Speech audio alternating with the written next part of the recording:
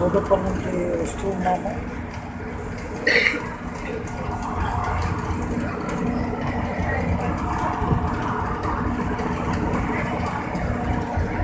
ఈరోజు ఒక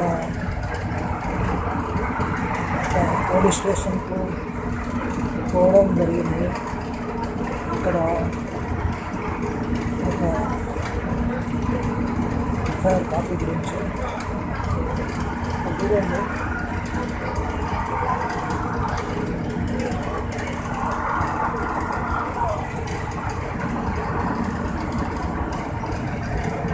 ఇటుకల పరిశ్రమ టవర్ ఉన్నది ఇంకొక టవర్ కూడా ఉంది.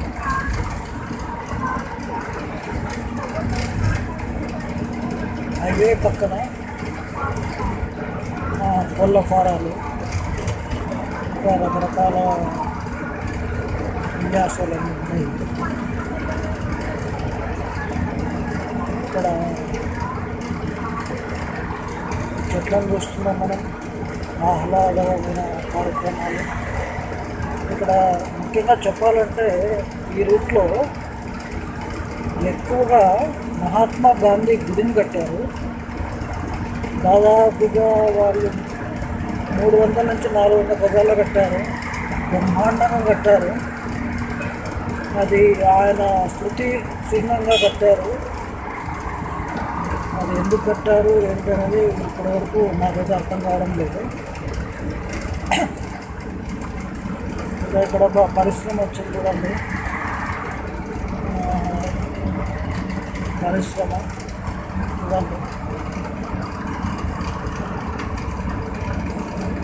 ఇక్కడ ఇంకా చూడండి రియల్ ఎస్టేటు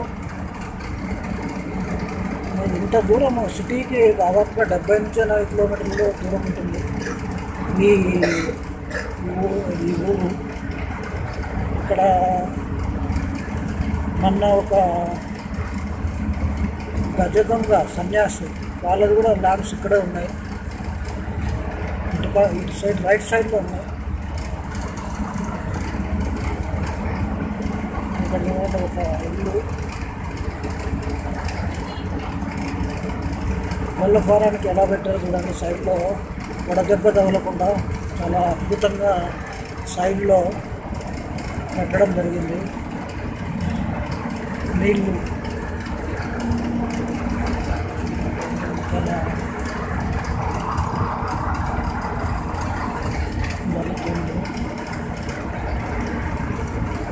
ఇక్కడ చూడండి ఒక ఒక డాబా ఫ్యామిలీ డాబా మనకు వస్తుంది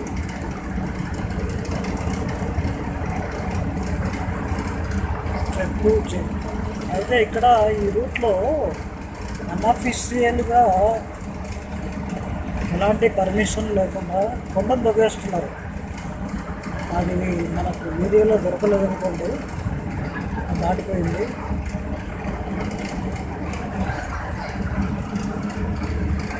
మంచి పర్యావరణ వాళ్ళు కొంచెం అద్భుతంగా ఒక పరిశ్రమ. పర్యావరణానికి ఇబ్బంది లేకుండా ఏ పరిస్థితుల్లో ఇబ్బంది లేదు కానీ ఇవన్నీ దాదాపుగా నాకు తెలుసు. కెమికల్ కంపెనీస్ ఈ కెమికల్ కంపెనీ వల్ల చాలామందికి ఇక్కడ ఇక్కడ ఇక్కడ ఒకటి. ఇక్కడ రైతులు జీవించే హక్కును కోల్పోతున్నారు. ఈ పరిశ్రమ వాళ్ళు కేవలం మెడిసిన్స్ తయారు చేసి ఇండియాలో అమ్మడానికి కాదు వాళ్ళు తీసేది. కేవలం అమెరికా జర్మనీ జపాన్ ఇతర దేశాలకు పంపడానికి పరిశ్రమలు పెడుతున్నారు తప్ప భారతదేశ ప్రజలకు మెడిసిన్స్ గురించి కాదు. పేరు మాత్రం ఇండియాలో అంటారు. ఏ ఒక్క పరిశ్రమలో కూడా ఇలాంటి పరిస్థితి పరిస్థితి లేదు. ఇక రైతులకు కేసీఆర్ ప్రభుత్వానికి ఒకటే రిక్వెస్ట్. ఏదైతే ఉందో chemical company Narketpally to Choutuppal and Hyderabad వరకు అనుకోండి ఇక్కడ ఏ పరిశ్రమలో ఉన్నా కూడా ఎఫ్లెంట్ ప్లాంట్ అనేది ఇక్కడ మస్ట్ అండ్ షుడ్. ఇక్కడ ఒక ప్లాంట్ ఉంది. ఏ దాంట్లో కూడా